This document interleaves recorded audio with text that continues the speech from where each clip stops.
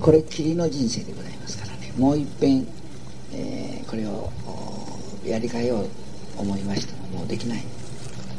もうこの一番大事な人生を、えー、わずかもう残り少ないんですわ。でその残り少ない人生をですねどういうふうに生きたらいいかということをやはりしっかりとこう考えて生き生きなきゃならない。どうでもいいんじゃない。でまあ残り少ない人生をどういうふうに生きるかという。人生は悲しいという。人生は喜びであるという。いずれでもあります。いずれでもある。いずれでもあるがですね悲しいという悲しみの人生というものもまた味があるし喜びの人生というのも悪くない、えー、ね、そういう人生を我々今くぐり抜けさせていただいて終着駅へ今向かっております、えー、しかしですね仏法様を聞かせていただきますとですね人生が終わるんじゃありません。息が切れるということは終わるんじゃない。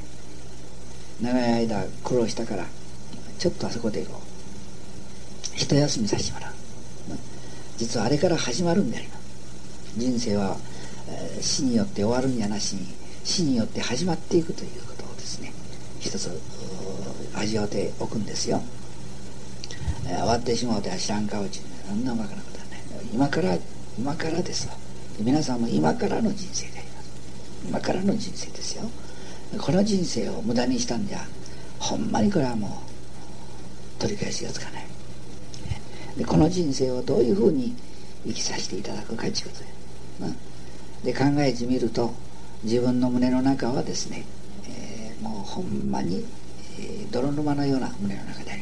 ます、私の胸の中は泥沼のようなもうほんまに罪の塊でございます。だから夜寝とっても夢を見ますがろくな夢見えもう嫌な夢ばっかり見ます。ようこれだけの夢見るもんじゃな思うと嫌な夢見ます。はよ夜がけんかいな思うてね。ほんまにお恥ずかしいことだと思います。ね。思いますがしかしまあただ一つ、ね、お念仏と言いますか、えー、如来さんのお慈悲がありますからそれによってただ一つこのそれをこう癒される慰めてもらうということでございます。皆さん一つこれからあとですね残り少ない人生を一つこう大切にですね大事にこういただいてこれを本当に意義深くですね、え生きていかなきゃ損ですよ。自分の名のために自分を犠牲にしたりですね、え自分の利益のために単な目先の利益のために自分を犠牲にしたりするんじゃバカらしいですわ。バカらしい、え何本儲かる言うたってあんたあ自分の人生まで犠牲にして儲けることはない。やはり人生の方が大事なんです、ね、それが一番どういうふうにしたらええかと言いましたらですね、え、本当のことを知るということです。本当のことを知るということが一番大事であります、ね、人生は何かある。何かあるに違いないがその何かというものを一つ探し当ててですね、えー、本当のことにぶつかって出会わせていただいて、えー、満足して人生を過ごさせていただくいうことが一番このありがたいんじゃないかと思います、ね、皆さん一つまたいつものことだけれどもお聞きいたすんですが「、皆が頼まれましたか?」ちこれ一つ聞きたい。皆が頼まれたかとどうですか？どうの？いやおかげさまでとこういう答えにいきませんよ。たとえ頼まれてノーでもな。嘘でもいいから、はい、おかげさまでとこう 答えにいかん。その次にいやどう頼まれましたかとこう聞きますから。それじゃご文章様通りですとこう答えたら正しい。でご文章様通りとはいやどういうことですかってもう一つ聞きますから。ご賞を助けたまえと皆を頼ましていただきましたと。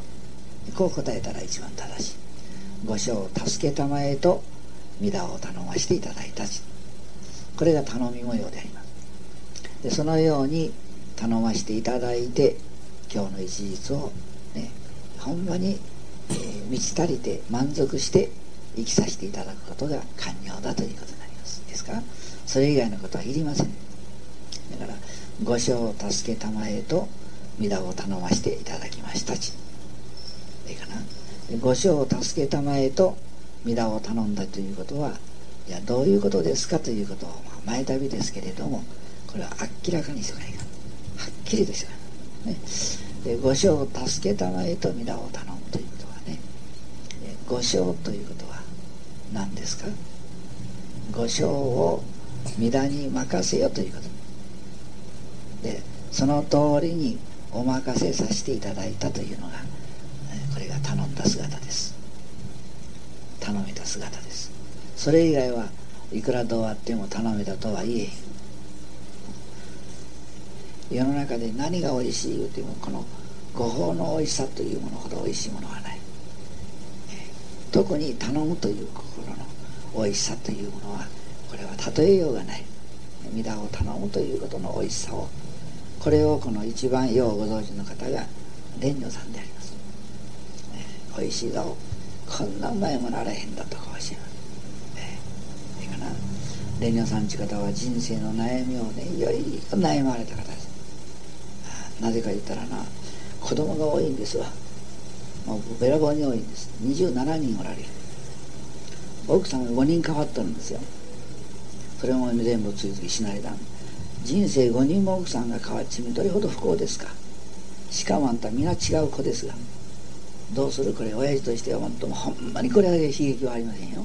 ところがみんな立派に育ってござるあら皆達者に育ってられます立派にね。やっぱ偉大ですわ。あら偉大なもんだと思いますよ。だからあんた27人の世話なかった。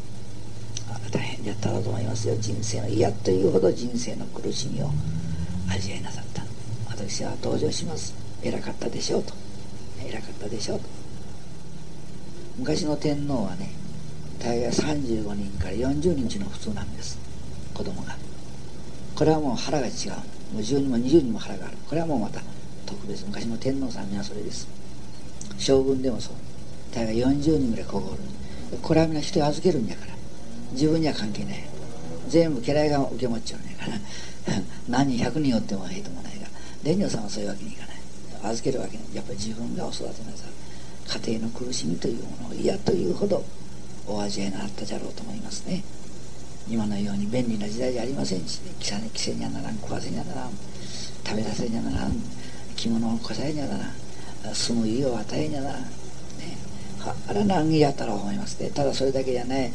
人間のこの心の中というのはいろいろ複雑でございますからね。それが全部蓮如さんの上にかかってきます。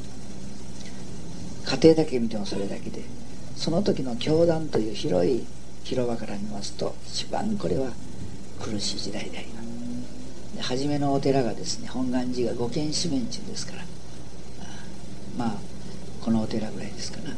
本願寺が。その程度でありますよ。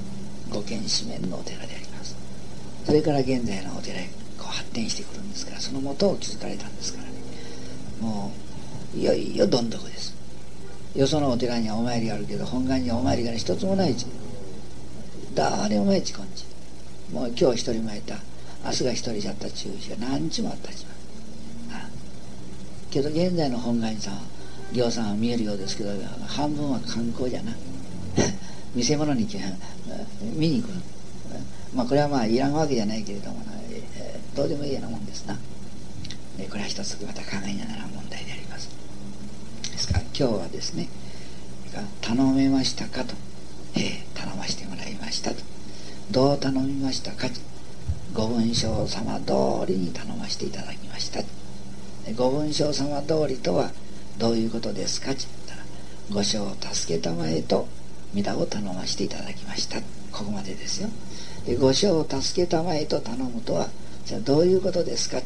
ここでこれが腹入らんと面白ない、ね、面白ない、ね、面白ない。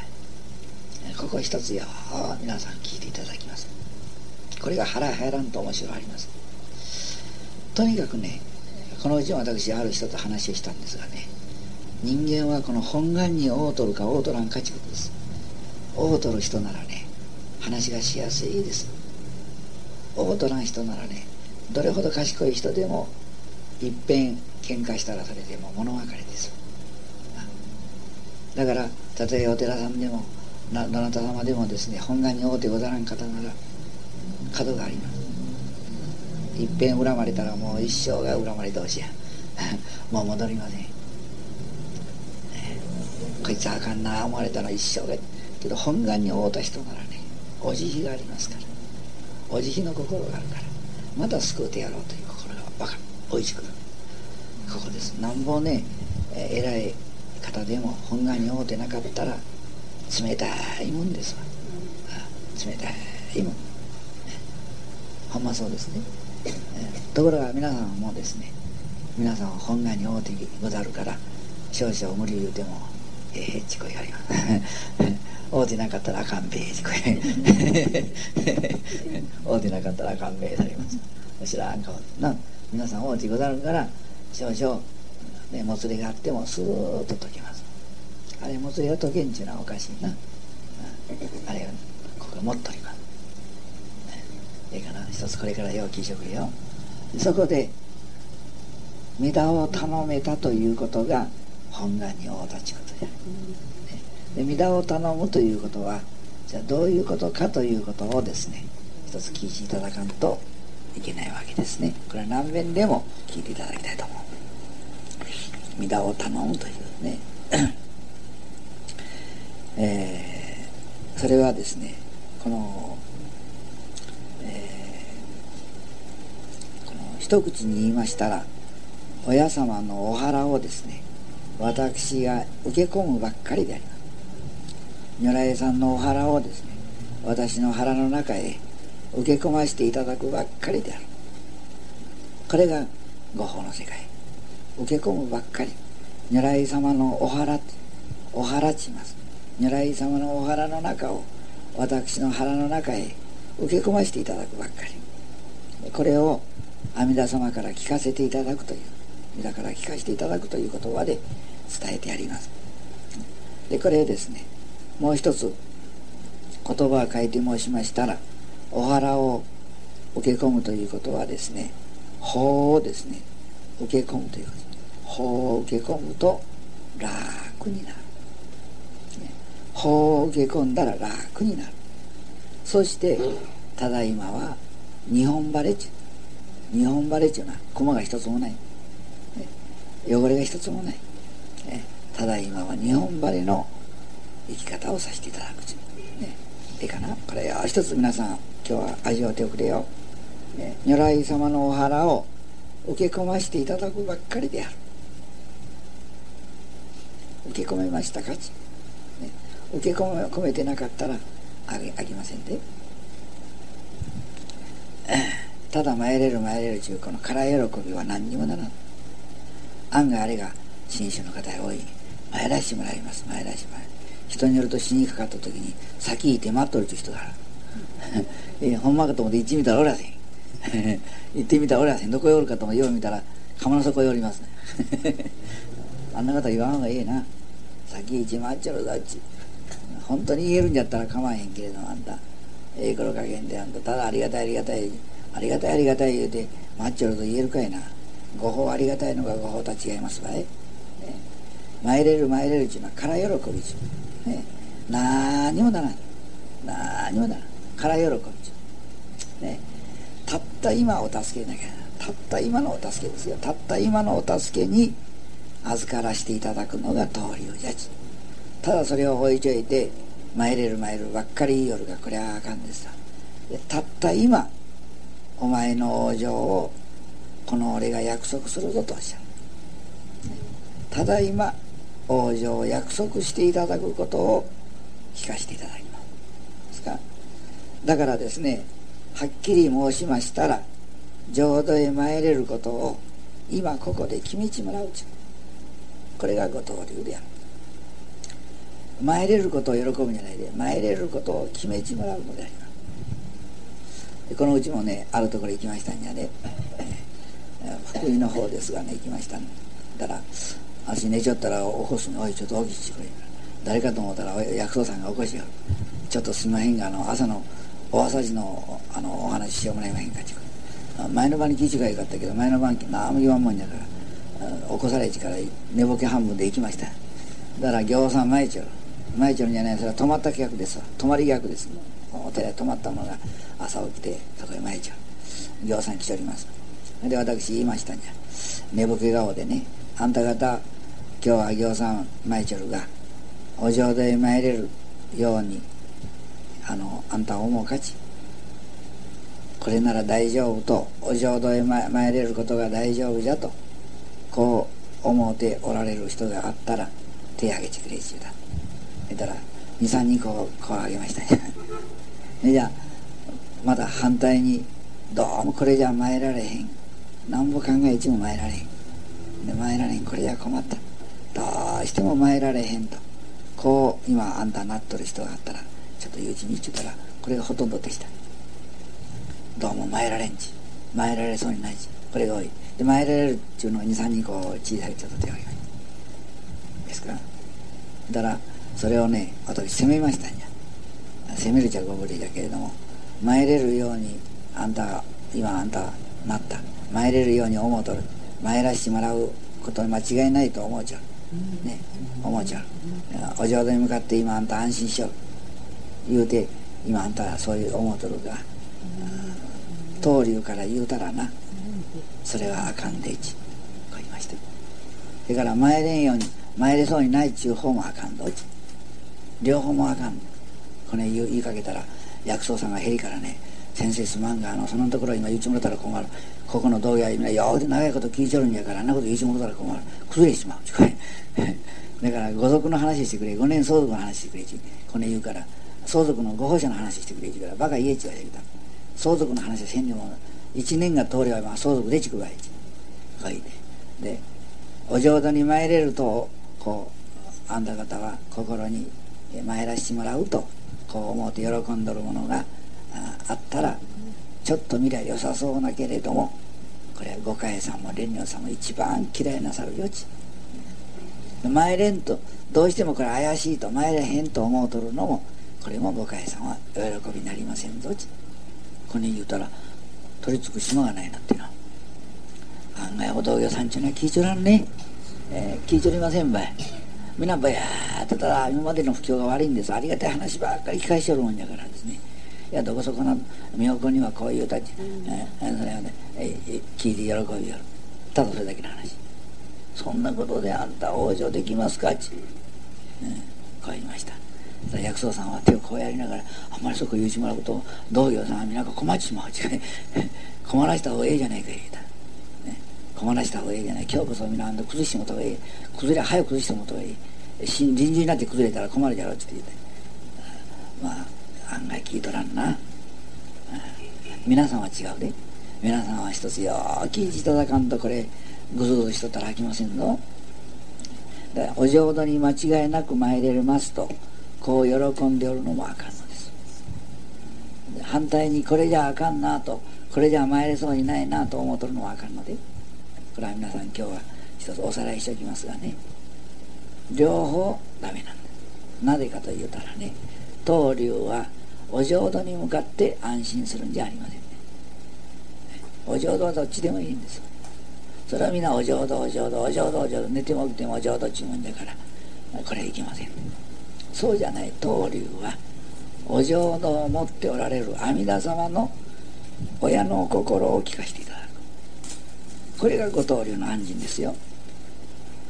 皆さん間違いなさいよ。だからお浄土に向かってこれなら行かれる間違いないって言うとったっていけるはずなれしません。長年聞いたからこれでいけるんじゃったら大想像で聞いていけるんじゃったらあんたよそのご収支から文句が来ますばい。そんなこと許しはれしません。それから片一方では、まあ、これじゃいからへん。とてもいからへん。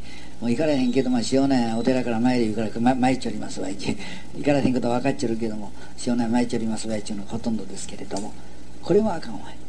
なぜかやっぱり行かれへんいうところに座っちょりますわ。両方これは間違いねだからお浄土に向かって安心するんでもない安心できんのでもないんです。東流は弥陀の心のいただけたことであります。阿弥陀様の心のおいただきできたのがご東流の安心であります。だからお前さんを必ず、ね、参らせるぞよと連れて帰るぞよとおっしゃっておくれるあなたのお心をですねいただかしていただいたのが大丈夫でございます。この欠場心です。これがご安心ですよ。だから間違えなさんのよ。案外お道行さんちゅうなちょっとついたらふらふらっとこうあれ倒れてしまいます、だからついてくれるのあまりついてもらうと破れちこ困るちこいけど破れるのは破した方がええち、えー、最後のやつ破れたら困るじゃろうちこい、それで皆ありがたいありがたい生んだ生んだ。うちこいでどこへ行くかって皆地獄をしてきますなぜかって言ったら御章を阿弥陀様に渡しとらんでしょうがただ聞いちょるだけじゃないな。ありがたいありがたいって。ありがたいことで参れるんやったらなあんた諸仏の他の方から文句が来ますわい、ね、そんなことでいけるお浄土やったらつまらん浄土じゃっちって言って文句が来ますよ。でありがたいのが法じゃのうてええかな。やおきしもないけ私の御章を皆に今日こそはお渡しさせていただかにゃ。これは頼んだとは言えへんどち。そこです。だから御章を渡しましたかちこう聞かなら。その方が大事。いやそれがまだまだ残っちおりますわいちこどうしてもへばりついてるの渡せませんわいちここういうのが私の実情であります、ね、どうしても渡すことができないということをですね悔やむ悩むんですね。ええかな前旅のお話ですが。で悩むのは世間のことで悩むのはええとは言われんがご褒美のことで悩むのはこれなんぼ悩んでもええんで悩むほどええんでこれは。ほんま。例えばどんなして高校紹介して高校するために苦しむんじゃったらどれほど苦しんだってええんですわ。で世間のことで苦しむことはそれは苦しまん方がええけれどもご褒美のことで悩み苦しむならばどれほど肯定でも悩まないかとそれはみんな悩まずに素通りしてしまうから具合が悪い。スーッと通ってしまいます。そしてさ親様を助けこのまま助けちゃうくれありがたいちこいとる。どっこいそうじゃない。そうじゃない。この私の御章をお渡しさせていただくということは、ね、御章とは何かち御章とは何かち言いましたら御章とは、いろいろこう言えますがね。まあ一口で言いましたら暗い木ということです。暗い木。これが暗い木であります。ええか？私の木は暗い木であります。木っていうのは知ってるやろ？私のことを言うんですね。木。如来さんの方を法という、私の方木という暗い木であります。だからいつ見てもドーンと曇っちゃいますね顔が。あんた今日具合悪いことないか違う。いや別に悪いことない悪いことないけどあんた御所抱えちゃうから晴れ晴れませんね顔が。曇っちゃう曇り日和じゃ。いやほんまに。みんなそうですね。みんなそうね。その暗い気をですね親様にお手渡しせなければこれは始まらないんです。いけない。でなかなかそれが渡せないから困っちゃう。その困る困り抜くのが縁ですこれが。困り抜かにはいかん。困り抜かずに途中でやめしまうから具合が悪い。困り抜くのを抜く人をですね祝前が到来したという。祝前解放という。あんた方祝前解放という。あれは困り抜いちゃう姿です。どうしようかどうしたらよかろうか。じ困っち困っち困り抜きます。私この夏ですねいろいろなところ歩きましたんでこれでも。まあこのそうですね関東から北はまだ行きませんがまだこの秋頃行きますけどね。もうほとんど夏歩いてきた、あんた方どこ行っとった？北海道行ったから この頃北海道行くの流行るなみんな北海道逃げる。夏になるとお金持ちはみんな北海道逃げますが。私はあのお金がないから北海道逃げませんって言って。もう南の方南の方にこう行っとりましたんですかね。ところがねやっぱり御法というものはねご法の薄いところがありますの、もうほんまに問題ならんところが多いで、えー、なわけねそれでもまだまだ紳士はええ方ですわ。よそのご収集はあんたみんな死んだ時にやちむらやええちゅうそれだけで、えー、死んだ時にお寺さん来てわーってやっちむろたらそれでもう満足じゃっちゅうね。あほらな死んだ死人やっちもろたって何もならせんなんなもなみんなそれで満足しよう日本人中の案外そういうところがこうちょっとこうなんですね。考えが足りませんの。どういうもんかね、けど外国人がいいわけじゃないけれどもやはりですねご法のお育てがないわけですええ加減な話しか聞いちゃうわけ。じゃからわからんのです肝心要がわからん。